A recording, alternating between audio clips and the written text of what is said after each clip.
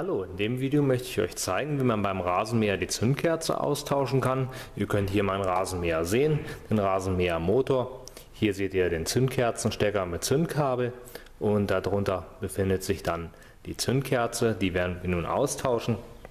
Als erstes ziehen wir dazu den Stecker ab, legen den so ein bisschen beiseite, dass der uns bei den weiteren Arbeiten nicht stört und werden dann die Zündkerze rausdrehen. Um die Zündkerze rauszuschrauben, brauchen wir eine Knarre mit Zündkerzennuss. Das ist also eine bestimmte Nuss, die ist etwas länger. Die ist so lang, dass ihr auch weit genug draufkommt, um hier die Zündkerze dann auch loszuschrauben. Mit einer normalen Nuss aus dem Knarrenkasten werdet ihr das nicht hinbekommen. Die ist leider nicht weit genug. Von daher müsst ihr eine spezielle Zündkerzennuss nehmen. Ja, wir schrauben das Ganze los.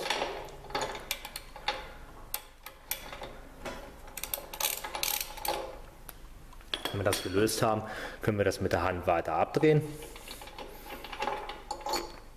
und haben nun die Zündkerze schon rausgeschraubt.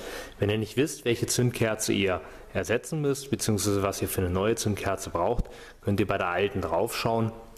Hier steht die Bezeichnung drauf. Ich hoffe, man kann es über die Kamera sehen. Ich halte es mal ein bisschen näher rein.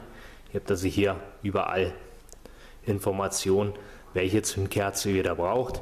Wenn ihr euch das nicht merken könnt oder nicht genau Bescheid wisst, könnt ihr natürlich auch die Zündkerze mit zum Händler nehmen und sagen, dass ihr so eine braucht.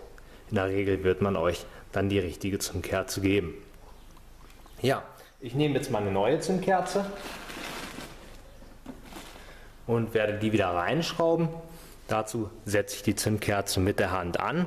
Achtet darauf, dass ihr das Gewinde gerade ansetzt, damit ihr das Gewinde nicht kaputt macht und setzt die Zündkerze mit der Hand an und dreht sie so weit rein, wie es geht. Als nächstes nehmen wir dann wieder unsere Knarre mit der Zündkerzennuss und schrauben die Zündkerze fest. Ich mache das immer gut handfest. Kann man jetzt zwar übers Video schlecht zeigen oder sagen, wie fest das ist. Ich habe halt leider keinen Drehmomentschlüssel. Ansonsten würde ich euch empfehlen, schaut rein in die Bedienungsanleitung von eurem Rasenmäher. Da stehen sämtliche Drehmomente drin, auch das Drehmoment für die Zündkerze. Von daher meine Empfehlung, dreht eure Zündkerze mit dem notwendigen Drehmoment fest, so wie es bei euch in der Bedienungsanleitung drin steht. Ja, das war es auch schon. Wir machen jetzt nur noch den Stecker drauf. Und dann sollte der Rasenmäher wieder laufen und wieder richtig starten. Wenn euch mein Video gefallen hat, würde ich mich sehr über einen Daumen hoch freuen. Ansonsten abonniert mich dann sehen wir uns im nächsten Video wieder. Bis dahin.